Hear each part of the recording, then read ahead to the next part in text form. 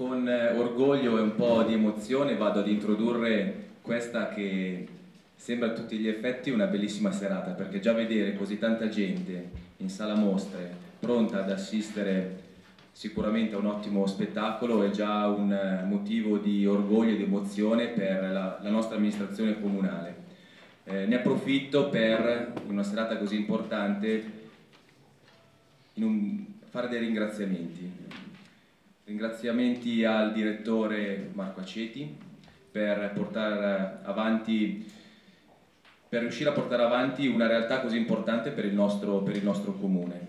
Un ringraziamento a tutti i professori e docenti che non solo insegnano in maniera egregia ai nostri ragazzi l'arte della musica, ma nello stesso tempo insegnano a provare e trasmettere emozioni, perché dico una banalità ed è un mio pensiero, la musica poi alla fine è emozione e, e uno strumento per poter viaggiare con la testa verso altri tempi e altri, e altri paesi.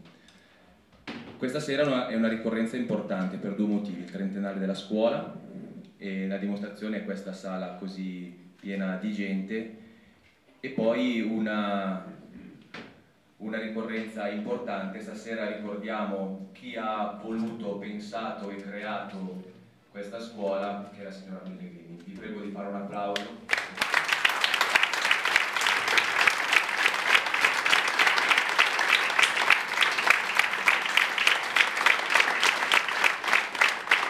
Abbiamo pensato, insieme anche al direttore, di poter onorare questo ricordo eh, intitolando la scuola a Isabella Pellegrini e preparare quindi una targa che poi verrà messa eh, esternamente alla scuola proprio in ricordo di chi ha, come dicevo, pensato e creato questa bella realtà che va avanti da, da 30 anni. Io concludo eh, ringraziandovi e veramente è, è un ringraziamento sentito perché vedere questa sala così colma di gente è eh, per Besozzo eh, sicuramente un elemento di novità, un elemento di novità eh, e quindi questa, questa, bella sala viene valorizzata proprio perché è piena, è piena di gente. Io consegnerei quindi la targa al, al direttore Aceti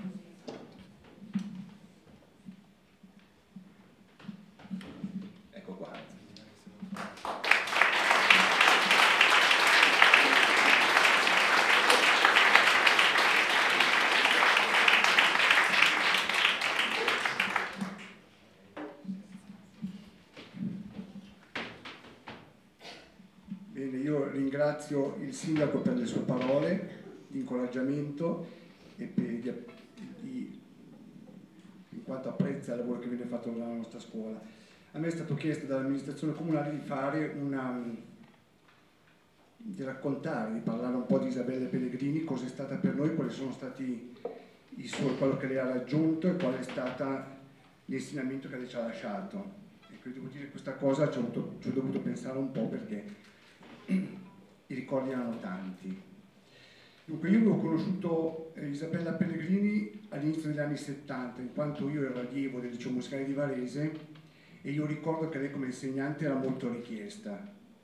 Ricordo ad esempio che mia sorella che studiava eh, al liceo musicale anche lei era piccola, io avevo detto ai miei genitori no, per studiare, per fare la, la propedeutica va messa con la Pellegrini, perché è una persona in gamba, perché era conosciuta. E allora abbiamo fatto di tutto insomma, affinché lei potesse fare lezione con Isabella, infatti poi ha, fatto, ha avuto il piacere di fare lezione con lei.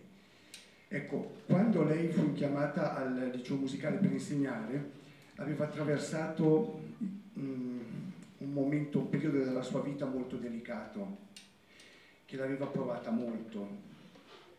Infatti io ho delle foto al liceo musicale di Varese, dove c'è lei che dirige i ragazzi, devo dire che era molto... Eh, magra, molto eh, patita, insomma aveva attraversato un momento difficile.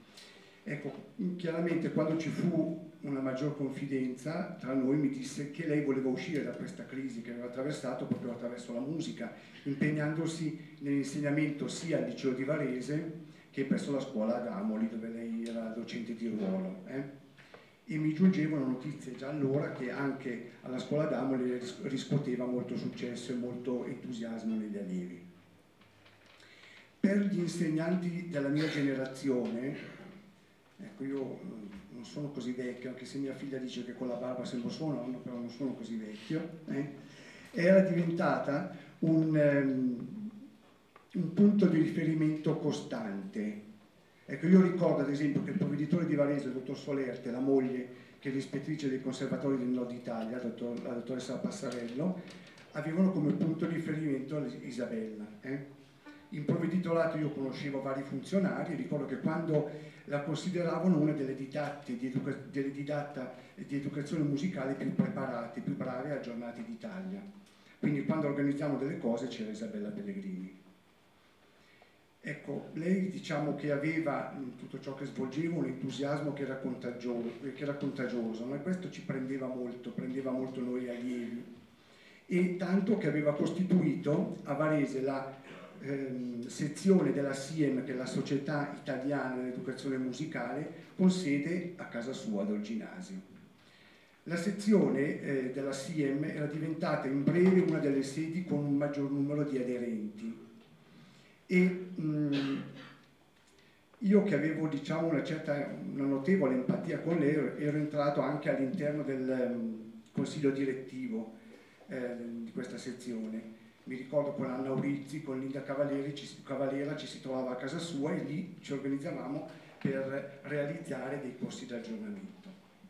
E in particolare io ero entrato in confidenza con lei perché a 19 anni mi hanno buttato in una scuola, in una scuola media di insegnare e, mh, il, in quanto avevano raddoppiato le ore di musica nella scuola media e non c'erano insegnanti. Eh. Io non ero ancora diplomato e il ero anche, ero anche disperato perché il conservatorio non dà nessuna preparazione dal punto di vista della didattica dell'educazione musicale e quindi io mi sono trovato veramente molto spaesato. Allora il mio insegnante, che era Guido Salvetti, che era anche suo caro amico, mi ha detto guarda vai da lei che lei ti può aiutare, insomma, perché è l'unica che può veramente con il suo entusiasmo darti una mano.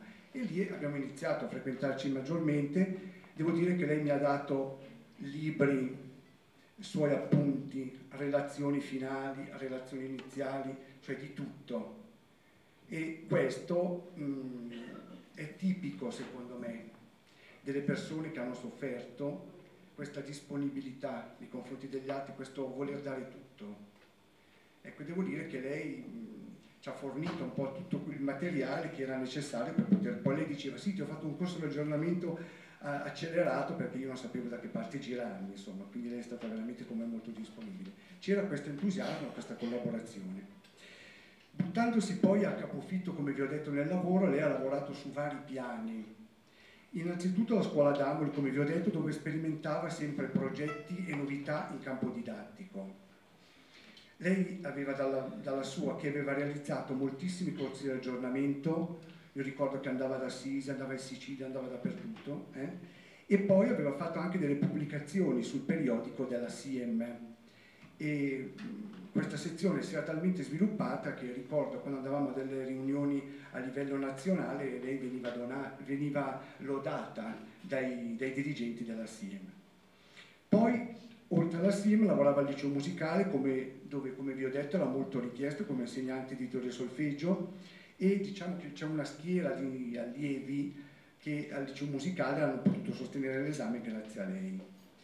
Lei al liceo musicale era molto appoggiata dal, da Riccardo Malipiero che è stato direttore fino all'85 e mh, ultimamente è stato fatto un convegno su Riccardo Malipiero al Museo del Novecento a Milano e mi hanno invitato per presentare perché avevo scritto alcune cose su di lui, sulla sua attività uh, varesina e io ho parlato in quell'occasione al Museo del Novecento anche di Isabella Pellegrini perché mh, loro si appoggiavano vicendevolmente, lui ci teneva che lei organizzasse questi corsi nel mese di settembre, l'hanno organizzati per tantissimi anni, per i docenti di tutti gli ordini di scuola. Eh.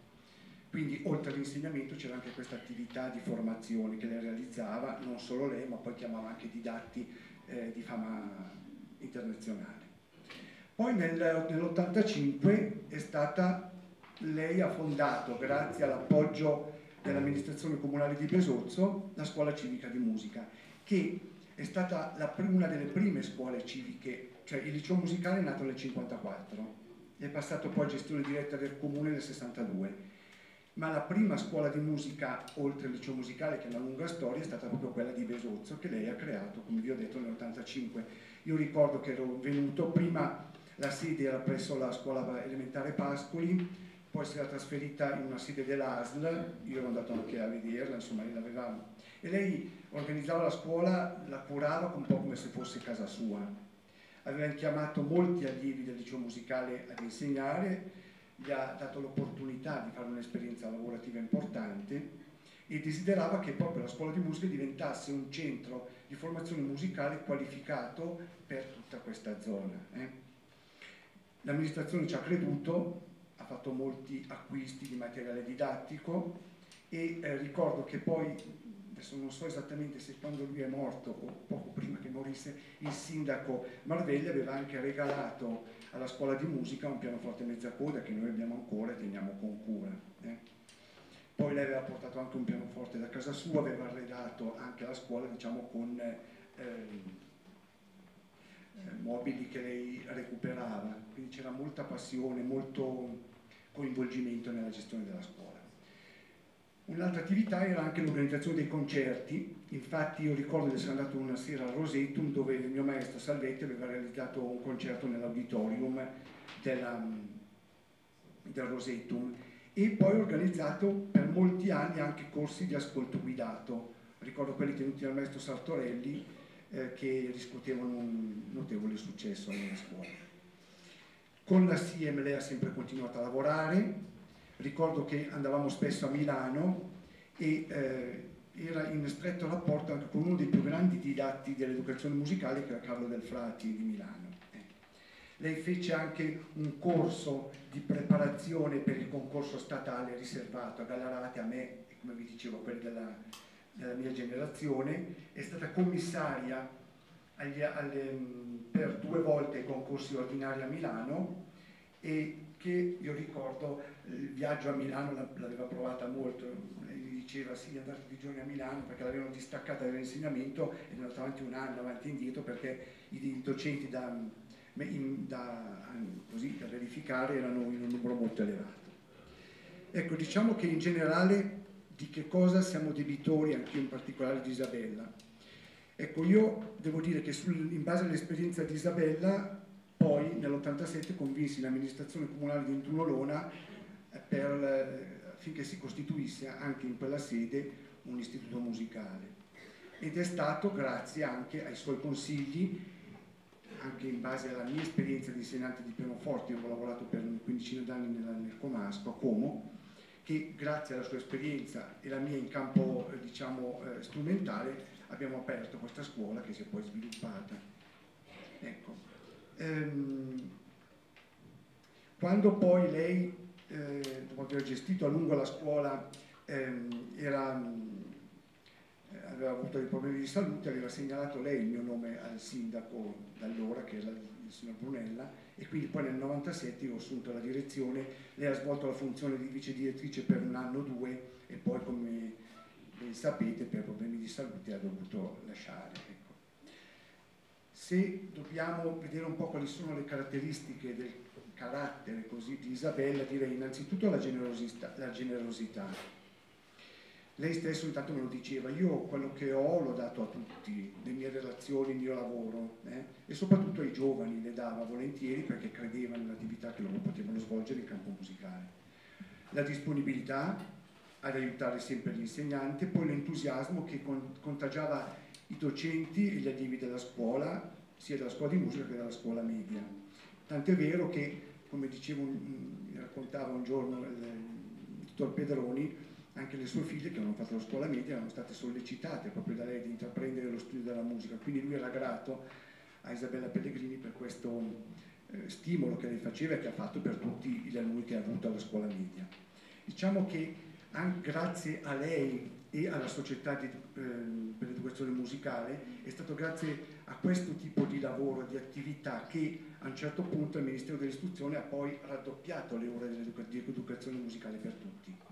E come io dico spesso è stata una scelta epocale perché io dico ragazzi la scuola la, la musica seria era un eh, privilegio esclusivo dell'aristocrazia o della borghesia quindi le persone, il popolo era totalmente escluso devo dire invece che mettendo l'educazione musicale nella scuola media è stato eh, grazie anche a una figura come Isabella Pellegrini e altri che lavoravano con lei nella SIEM che hanno fatto pressione sul Ministero perché tutti potessero accedere alla musica. Poi un'altra caratteristica è la competenza che, è, che, lei aveva maturato in moltissimi anni di aggiornamento, quando la metodologia dell'educazione musicale era veramente all'inizio e mh, successivamente la metodologia anche, eh, diventerà una materia principale di corsi di laurea. Per esempio il corso di laurea in in discipline delle arti, della musica e dello spettacolo dell'Università di Bologna, ha tra le materie fondamentali l'educazione musicale. Ed è proprio stato grazie anche a questo lavoro della SIM, lavoro di, di Isabella, lavoro di Del Frati, che hanno insistito per ottenere questa diffusione più capillare della musica. Quindi noi alla scuola di musica siamo stati molto contenti della decisione del comune e io con piacere ho steso la relazione che, che l'amministrazione ha mandato in prefettura per l'intitolazione della scuola a Isabella. Io sono convinto che lei sia contenta e, di come anche si è evoluta la scuola, sia contenta anche del, dell'evoluzione che c'è stata all'interno della scuola, della convenzione che abbiamo fatto con il Conservatorio di Como, tanto che la nostra scuola è considerata ente di formazione musicale di base e dei, eh, diciamo, dei privilegi possono, di cui oggi i nostri allievi possono godere, quindi non essere più considerati come lavoravamo noi in quanto privatisti eh, allievi di serie B, ma pienamente allievi di serie A. E questo l'abbiamo verificato sul campo anche in base ai risultati, voi pensate che a Como abbiamo mandato dal 2012 circa 250 allievi con risultati veramente brillanti e considerevoli. Per cui sono convinto che Isabella sia contenta e sia soddisfatta dell'evoluzione che la sua scuola ha avuto. Bene, grazie.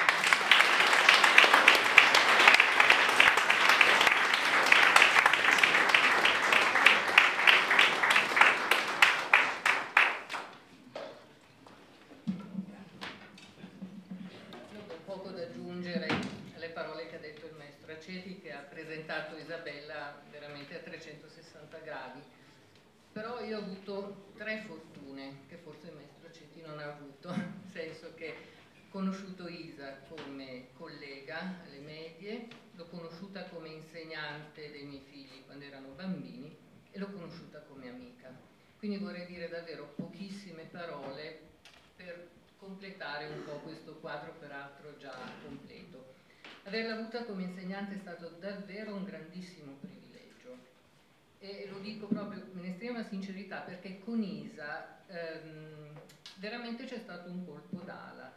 Era capace di coinvolgere con l'entusiasmo di cui lei ha parlato, ma veramente tutti gli insegnanti, e non solo quelli di materie affini, ci coinvolgeva in progetti interdisciplinari o pluridisciplinari, eh, ci coinvolgeva in visite di istruzione, ma davvero magnifiche, ricordo quando siamo andati alla scuola di liuteria di Cremona, oppure quando si andava ad ascoltare eh, le prove alla Scala o si andava mh, a visitare la scuola di ballo, davvero delle ehm, esperienze emozionanti coinvolgenti. E poi le esperienze della SIEM nascente sono entrate anche nella scuola media, per cui io ricordo davvero questo grande fervore e per noi insegnanti era davvero un punto di riferimento, era entusiasmante lavorare con lei. E gli alunni la adoravano davvero perché sapeva fare musica in maniera diversa.